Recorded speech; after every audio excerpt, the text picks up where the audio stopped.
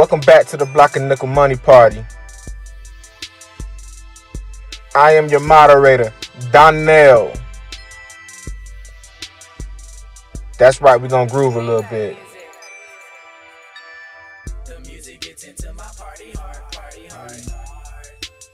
I hope you're ready.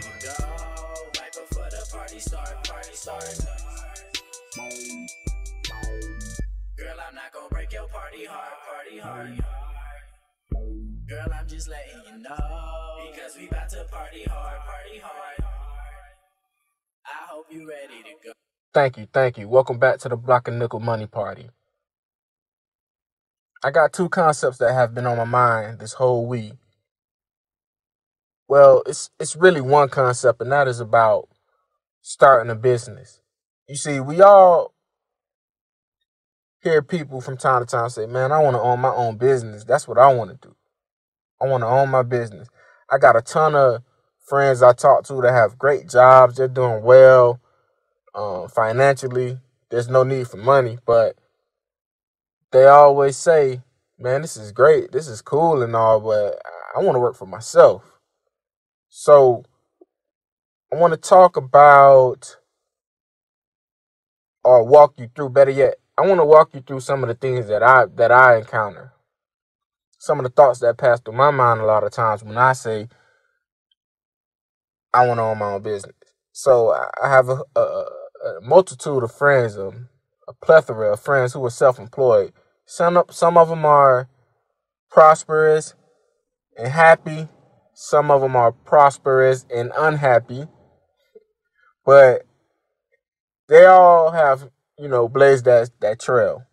And you know, a lot of times I, I talk to them, and I, I got some good, really, really, really, really good friends that are very open and forthright with me, forthcoming with me when it comes to information about owning your own business.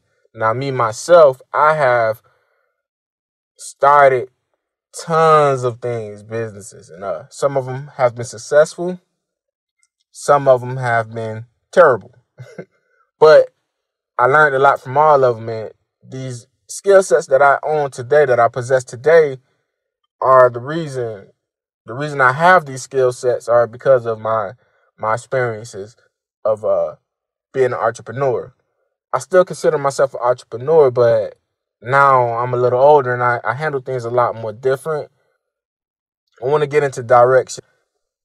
Do not allow yourself to get taken off of track or swayed by another man's or woman's success. I mean, your closest friends and your true friends, they're going to always recommend great things, things that are working for them. They want it to work for you as well. They love you. So they, they're going to always, it's, it's, it's from a warm and loving place when they say, hey, bro, hey, sis, you should um think about jumping into this industry because I'm doing amazing. I'm hitting numbers. It's, it's lovely. Everything's working. It's beautiful. That's great for them, but that might not work for you because you might get into that same industry and you won't thrive because you it's not you. It's not your makeup. You don't have the skill sets that they have. Throughout our professional development, we all obtain certain skill sets that work for us. So be careful when when thinking about businesses and stuff like that. So that's something that I think about a lot because I get a lot of recommendations and things like that. And people say, well, man, you're good at this and you're good at that. Woo, woo, woo. So this might work great for you because it's working great for me. And I have to always sit back and tell tell myself that, man, that's a great, that's an amazing idea that my friend is doing, but that might, that's not for me. I went to a conference, and this conference was full of entrepreneurs. It had a couple aspiring to be entrepreneurs, but the top group of the speakers were all successful guys from from all walks of life. And one thing that I noticed about all of them, because yeah, I did. I went back. I mean, they tell you about themselves. They tell you to go look them up and stuff like that. So I looked them up, and one thing I noticed is that there is a straight for all of the all of the these are all of the um the speakers, the keynote speakers for that for that conference, they all had one thing in common. They did not deviate. If you look at their history, you look at the things they did, it all was in the same industry, which tells me one thing. They were really good at saying no. Not saying no to be a, a jerk, but saying no to distractions. They developed a skill in that industry and it favored, and it, turned out well for them. So we have to look at ourselves from that perspective and say, what am I good at? What I what do I do on a regular basis? What do I do professionally? Does that work for me? How can I take what I do professionally on a regular basis and merge it with what I love to do and make the best out of it? When you find that intersection between what you do professionally and then what you love to do for a hobby, then you will get a, a clearer idea of what kind of businesses you should be eyeing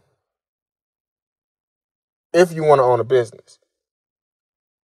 So that's that's that's that's that's very important. Now the second thing that I want to talk about is when when to start. You don't want to wait till retirement to start a business. Now, if you have an idea of something that you want to be doing, something you want to do when you retire or when you stop working, you should start building that foundation right now. No ifs and buts about it. You should really start building that foundation right now. So if you are if you want to own a restaurant or whatever, this is a very good time to start catering. Cater a couple things every now and then. That way you can uh, you know, build up your build your rapport up, get your get your skill set together, um, find out what your clients want and what they don't want. And then you can start developing menus and things like that. And from over time, you'll learn how to uh, make money off food. And that's a good time to actually go into business. So by working your regular day, W two job, you can you can buy yourself time while you learn this business and you pick up some clients and build your brand and everything else so that once once it's time to start that restaurant, it won't be a cold start. It'll be a warm start. It may even be hot. so don't wait till the last don't wait till the last minute or until you retire to start a business. Now, me personally, when I was in my younger 20s, one thing that I knew was that I was not starting a business to last a long time. These were more so things I would get into for flips and things like that. But it was it. I never planned on any of these businesses uh, being a, a long run thing or whatever like that. So I was very industrial, industrious on that end. Um, I would start a business because simply I wanted to make my own job.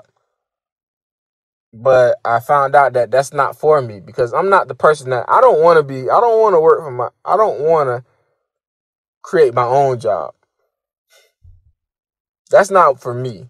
Now, for some people, that might be ideal, but that's not for me because I want to be able to go on vacations and do this and do that. And yeah, I, I've been down that lane. I thought that's what I wanted one time. I tried it and it wasn't for me. But now I'm able to show that and convey that to everyone else is that, you know, be careful. Make sure that you're not, make sure you're, you, if you want to build a business, build a business. If you want to create a job for yourself, create a job for yourself. But don't don't confuse the two. Do not confuse the two because when you start a business or when you run a business or when you own a business, business better yet, if you own a business, you should be able to walk away from that business for months and you still can make income you should be able to walk away from that business for months and you still generate an income. Jobs don't do that. And I understand that there are levels in life. Know where you're at and know what you are doing. So if you created a job for yourself, kudos to you. Kudos to you. You don't have a boss. You your, you are your own boss. But please understand that that does not make you a business owner. They're not the same thing. They are in the same family, but they are not the same thing. And I just wanted to, to, to dwell into that. I didn't want to delve too deep into that, but I wanted to point that out that a business and creating a job are not the same thing. So, for instance, uh, what would be a, a job? So let's use car washes for the point. Let's use car washes. If you have to go and wash cars, if you are the owner, the creator, the founder of this car wash, and you have to go and wash those cars, because if the car, if you don't wash the cars, you don't make money, you have just created a job for yourself. If you own a store, if you open up a store and you have to sit in that store to make money, you just created a job for yourself. Now, if you own a car wash and it is g- generating revenue without you setting foot in that building, you own a business. If you created a store and that store is generating revenue without you having to set foot in that store, that's a business.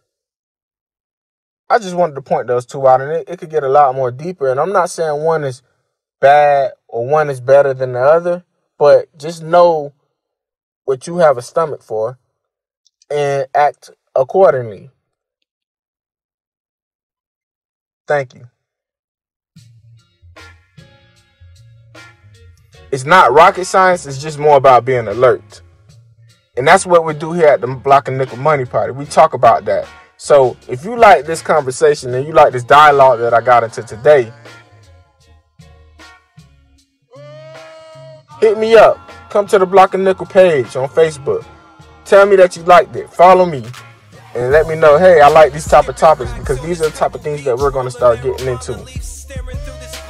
Once again, I am Donnell, your moderator for the Block and Nickel Money Party. Thank you. And remember, it's up.